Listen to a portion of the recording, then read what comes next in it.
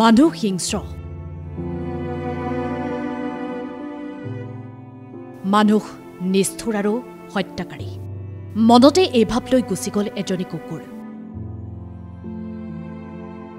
থাকি গ'ল দুদিন পূৰ্বে উপজা পাঁচটিকৈ কণমানি পোৱালি। কালি কেইটামান কুকুৰ পোৱালীয়ে মৃত মাতৃৰ দুগ্ধপান কৰি থকা দৃশ্য চাইছেনে? কিমান সাধাৰণ কিমান নিষ্পাপ।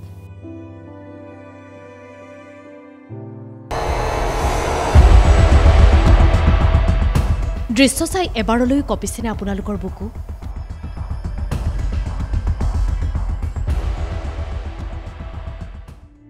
এতিয়া পোৱালীকেইটাক বুকুৰ উম দি জীয়াই থকাৰ বাট কাটিছে এখন বিশেষ ঘৰে। দুটানীৰে খাইছে গাখীৰ। এটা এন জি অ'ৰ তৎপৰতাত ঘৰখনে কৰিছে ঔষধৰ ব্যৱস্থা। নিৰ্দয় দিব্যজ্যোতিৰ বিপৰীতে এখন ঘৰে মাতৃৰ দায়িত্ব পালন কৰিছে পাঁচটিকৈ কুকুৰ পোৱালীৰ চৌদিশে ইমানবোৰ মানুহ। কিন্তু ইমানবোৰ মানুহৰ মাজতো জীৱ জন্তুক ভাল পাব নোৱাৰা একাংশ মানুহ এইখন সমাজত আছে। কালিও এজনী কুকুৰক মৃত্যুৰ পৰা বচোৱা মানুহ সেই সময়ত নোলাল। কোনোৱে বাঘৰ চকু কাঢ়িছে কোনোৱে কুকুৰক বিষ খুৱাই মাৰিছে। কোনোৱে আকৌ ইলেক্ট্ৰিক চক দি মাৰিছে গজৰাজক।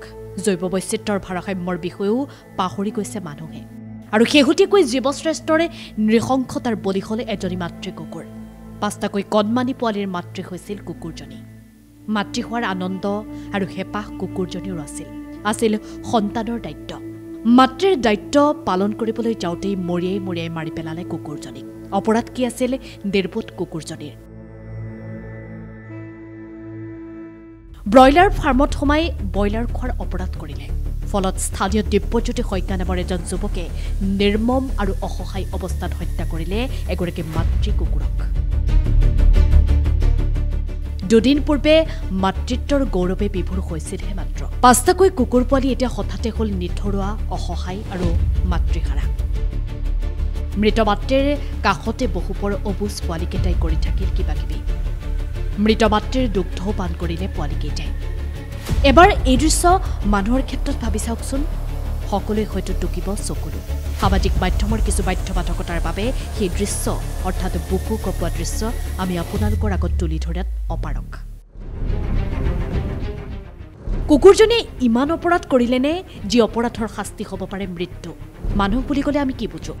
কিন্তু মানুহৰ যি প্ৰকৃতি সেয়া আচলতে থাকিলেগৈনে সেই মানুহজনৰ বাবে লজ্জিত আজি অসমীয়া সমাজ আৰু সেই মানুহজনৰ বাবে লজ্জিত পুৰণি গুদামৰ মিকিৰ সাত হাতীৰ গাঁৱৰ গাঁওবাসী। কান্দিছে মহিলাই।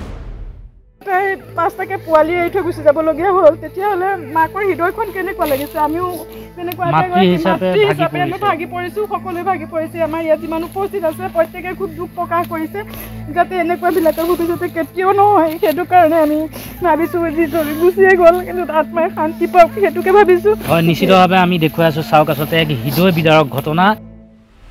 দিব্যজ্যোতি শইকীয়া সম্প্ৰতি ৰঙাঘৰৰ আলহী কিন্তু তেওঁ কেৱল এজনী কুকুৰ হত্যা কৰাই নহয় হত্যা কৰি থৈ গ'ল পাঁচটিকৈ সন্তান মৃত কুকুৰজনীয়ে মনতে লৈ গ'ল এক বিশেষ বাৰ্তা যে মানুহ নিষ্ঠুৰ মানুহৰ দয়া মায়া নাই।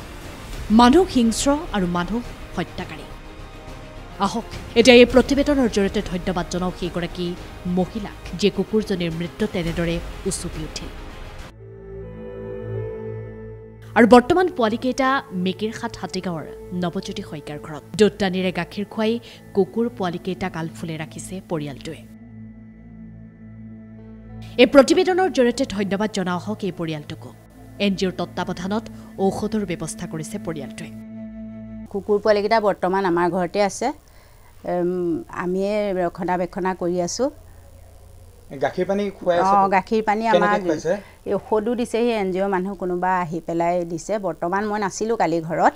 মোৰ ল'ৰা আছিলে ল'ৰাৰ হাতত ঔষধ দিছে গাখীৰ দি থৈ গৈছে কেনেকৈ খুৱাব লাগে কৈ মেলি থৈ গৈছে। বৰ্তমান আমাৰ ল'ৰাই সেয়া ব্যৱস্থা কৰি আছে। আকৌ ওচৰ চুবুৰীয়া ভণ্টিহঁতো আছে সিহঁতে সেয়া ব্যৱস্থা কৰি খুৱাই মেলাই আছে।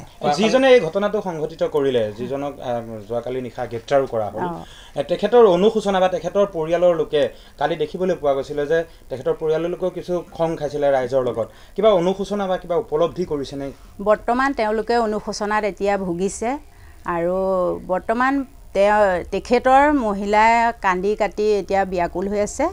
বৰ্তমান নিশাৰ ভাগত তেওঁক চামগুৰি থানাই লৈ গৈছে। এতিয়া বৰ্তমান কি হৈছে আমি সেইখিনি অৱগত নহয়। প্ৰশাসনে যিখিনি কাম কৰিছে আপুনি সেইকাৰণে প্ৰশাসনে যিখিনি কাম কৰিছে আমি প্ৰশাসনক ধন্যবাদ দিছোঁ। আৰু যাতে ভৱিষ্যতে তেখেতে এনেকুৱা কোনো ধৰণৰ কাম নকৰে। তাৰ কাৰণে তেওঁ উপলব্ধ কৰক আমি ভাল পাইছোঁ যাতে আৰু কোনোদিন কোনো ব্যক্তিয়ে গাঁৱত এনেকুৱা নকৰে যাতে। পোৱালিকেইটা ভালে থাকক হৃদয়বান এই লোকসকলৰ কাষত। এনে ঘটনা দুনাই সংঘটিত নহয় বুলি প্ৰতিশ্ৰুতিবদ্ধ হওক প্ৰতিগৰাকী অসমীয়াও news six report Prag news digital.